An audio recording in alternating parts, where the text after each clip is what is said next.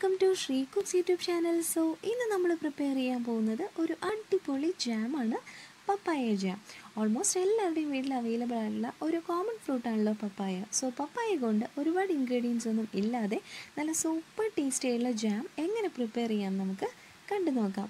അപ്പോൾ ഇതിനു വേണ്ടി നമുക്ക് നല്ല റൈ പപ്പായ വേണം. അപ്പോൾ ഞാനൊരു വലിയ പീസ് പപ്പായ ചെറിയ ചെറിയ ക്യൂബ്സ് ആയിട്ടൊന്ന് കട്ട് ചെയ്തെടുത്തിട്ടുണ്ട്.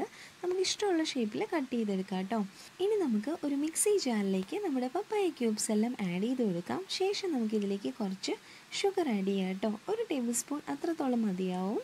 എന്നിട്ട് നമുക്ക് നന്നായിട്ടൊന്ന് ബ്ലെൻഡ് ചെയ്തെടുക്കാം. അപ്പോൾ ഞാൻ നല്ല സൂപ്പറായിട്ട് ഇവിടെ ബ്ലെൻഡ് ചെയ്തെടുത്തിട്ടുണ്ട്. അപ്പോൾ നമ്മുടെ പപ്പായയൊക്കെ നല്ല സോഫ്റ്റ് ആൻഡ് ക്രീമി ടെക്സ്ചറിൽ കിട്ടിയിട്ടുണ്ട്. ഈ ഒരു രീതിയിൽ വേണം കേട്ടോ ബ്ലെൻഡ് ചെയ്തെടുക്കാൻ വേണ്ടി. ഇനി നമുക്ക് ഒരു പാൻ ചൂടാക്കി അതിലേക്ക് നമ്മൾ ബ്ലെൻഡ് ചെയ്തെടുത്തേക്കുന്ന പപ്പായ ആഡ് ചെയ്യാം.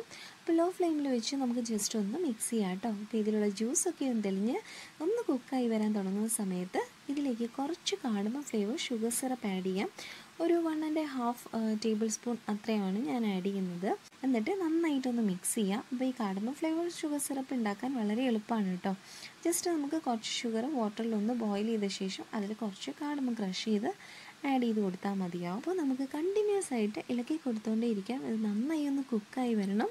അപ്പോൾ നമ്മുടെ മിക്സിന്റെ ജ്യൂസൊക്കെ ഒന്ന് വറ്റി നല്ല സൂപ്പറായിട്ടൊന്ന് കുക്കായി വരുന്ന സമയത്ത് നല്ല തിക്കായി ഇതിന്റെ കളറൊക്കെ ഒന്ന് മാറി വരുന്ന ടൈമിൽ നമുക്കൊരു ഇത്തിരി ലൈം ജ്യൂസ് കൂടി ആഡ് ചെയ്ത് കൊടുക്കാം. ഒരു ടീസ്പൂൺ മതിയാവും കേട്ടോ എന്നിട്ട് നന്നായിട്ടൊന്ന് മിക്സ് ചെയ്യാം. അപ്പോൾ ഇതിലെ കംപ്ലീറ്റ്ലി ഇതിന്റെ വാട്ടർ കണ്ടന്റൊക്കെ ഒന്ന് മാറി ഒരു തിക്ക് ആൻഡ് സ്റ്റിക്കി ആയിട്ടുള്ള കൺസിസ്റ്റൻസി ആവുന്നോളം വരെ നമുക്ക് നന്നായിട്ടൊന്ന് മിക്സ് ചെയ്ത് കൊടുത്തുകൊണ്ടേയിരിക്കാം അപ്പോൾ ഇതാ നമ്മുടെ മിക്സ് ജാമിന്റെ ആ ഒരു തിക്ക് ആൻഡ് സ്റ്റിക്കി കൺസിസ്റ്റൻസിയിൽ റെഡിയായി വന്നിട്ടുണ്ട്. ഇങ്ങനെ പാനിൽ നിന്ന് വിട്ടുവരുന്ന ആ ഒരു ടൈമിൽ നമുക്ക് ഫ്ലെയിം ഓഫ് ചെയ്യാം കേട്ടോ.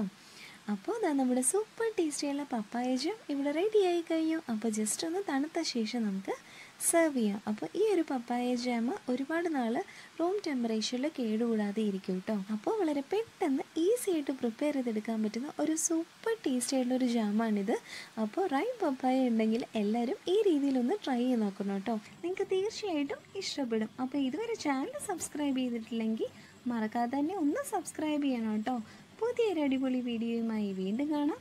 താങ്ക്